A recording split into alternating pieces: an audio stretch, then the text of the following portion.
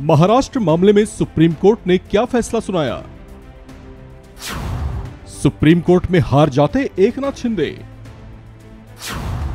पर उद्धव के उतावलेपन ने कैसे बदला पूरा सीन? फैसले में सीजीआई चंद्रचूड़ ने क्या बड़ी बातें कही? सुप्रीम कोर्ट में Chief Justice of India DY Chandrachud ने शिवसेना उद्धव ठाकरे गुट और शिवसेना एकनाथ शिंदे गुट मामले में ऐसा फैसला सुनाया जिससे दोनों पक्षों की धड़कनें बढ़ गईं। लेकिन बढ़ी हुई धड़कनों के साथ जहाँ उद्धव ठाकरे को अपने एक उतावलेपन में लिए गए फैसले से मायूसी और पछतावा हुआ तो वहीं एकनाथ शिंदे ने अपनी किस्मत का साथ मिलने से ठंडी राहत की सांस भरी ये फैसला सुनाते हुए सुप्रीम कोर्ट की पाँच जजों वाली बेंच ने कहा कि अगर उद्धव ठाकरे ने अपने पद से इस्तीफा नहीं दिया होता तो वे पुरानी स्थिति को फिर से बहाल कर सकते थे हालाँकि इसके साथ साथ सुप्रीम कोर्ट की बेंच ने उद्धव ठाकरे गुट के मुख्य आरोपों पर भी मुहर लगा दी, जिसमें कोर्ट ने माना कि महाराष्ट्र के राज्यपाल भगत सिंह कोश्यारी का फैसला गलत था।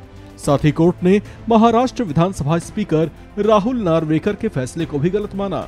इसके साथ साथ सुप्रीम कोर्ट ने एकनाथ शिंदे गुट के नेता भरत गोगावले की ओर से व्हिप की नियुक्ति को भी गलत माना। इन तीनों ही आरोपों को सही मानते हुए सुप्रीम कोर्ट ने कहा कि राज्यपाल रहते हुए भगत सिंह कोश्यारी ने जो फैसला लिया, वो पूरी तरह से असंवैधानिक और गलत था। हालाँकि ऐसा होते हुए भी उद्धव ठाकरे को किसी तरह की कोई राहत नहीं मिल सकी, क्योंकि उस दौरान उन्होंने हड़बड़ाहट में अपने पद से इस्तीफा दे दिया था। अगर उन्होंने तब ऐसा नहीं किया होता और सुप्रीम कोर्ट के फैसले का इंतज़ार करते तो महाराष्ट्र की राजनीति में आज स्थिति कुछ और ही होती। उद्धव ठाकरे को आज राहत मिल सकती थी। लेकिन उद्धव ठाकरे आज सुप्रीम कोर्ट के ऐसे फैसले पर मुट्ठी मसलते रह गए।